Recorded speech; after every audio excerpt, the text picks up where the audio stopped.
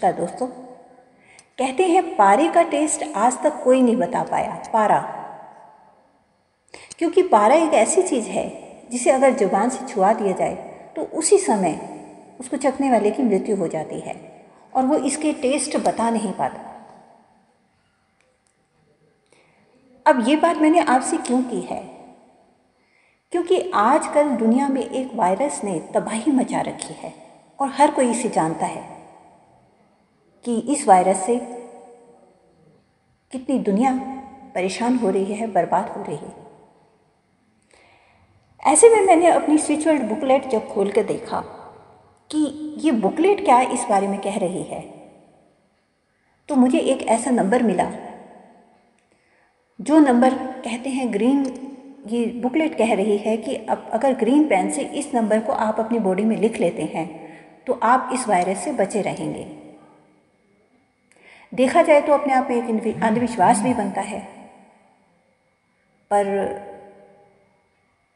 Switch word जो हैं वो बहुत छानबीन कर कर बहुत अपनी पावर डालकर इन वर्ड्स को बनाया गया है इन लाइंस को बनाया गया है इन नंबर को बनाया गया है। सो so, मुझे भी एक नंबर मिला है और मैंने उस नंबर को आप तक पहुँचा रही हूँ। अब यहाँ पर मैं आपको बताऊँगी मैंने पारे की बात क्यों की? पारे की बात मैंने इसलिए की कि ज़रूरी नहीं है कि आप इस नंबर को लिखें अपनी बॉडी पर और उसके बाद आप अंधाधुंध बाहर घूमना शुरू कर दें और कोरोना वायरस ये वायरस के जो लोग हैं, उनके नज़दीक जाएँ कि आपको ये वायरस नहीं छू पाएगा क्योंकि आपने बॉडी पे नंबर लिखा है। ये आपका अपना रिस्क होगा। मैं इसकी कोई गारंटी नहीं ले रही हूँ। बस मैं ये नंबर स्विच वर्ड बुकलेट से निकाल कर आप तक पहुँचा रही हूँ। अगर आप इसे अपनी बॉडी पर ग्रीन पेन से लिख लेते हैं तो ये वायरस से आपकी सुरक्षा, आपकी बॉडी की सुरक्षा करेगा।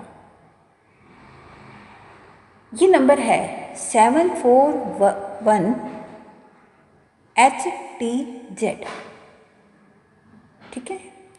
समझ आया आपको? Seven four one H capital letter में एच और स्मॉल लेटर में टी और कैपिटल लेटर में जेड है।